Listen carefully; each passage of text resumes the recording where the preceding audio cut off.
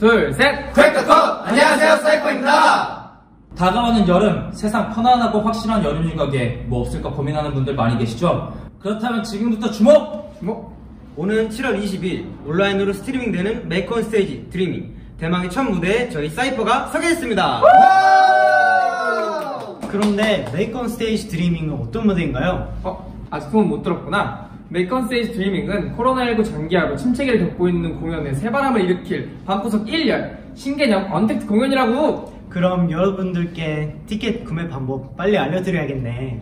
국내 팬분들은 와디즈에서만 티켓을 구매하실 수 있고 해외 글로벌 팬분들은 빵야TV 그리고 예스24에서 글로벌 티켓 홈페이지에서 할 수 있습니다. 또한 티켓 구매 시 옵션 설정을 통해 여러분들의 최애 아이돌을 설정할 수 있습니다. 그리고 저희 사이퍼 여러분들의 one pick 신인 아이돌로 선택해주세요. 내 스타의 꿈의 무대 on air 불을 여러분의 손으로 직접 켜주세요. 2021년 7월 22일, 29일 한국 시간 9시 파이아TV에서 메이컨 스테이지 드리밍을 보면서 방구석 랜선 여러분과 함께 즐겨보아요. 많은 관심 부탁드립니다. 관관부.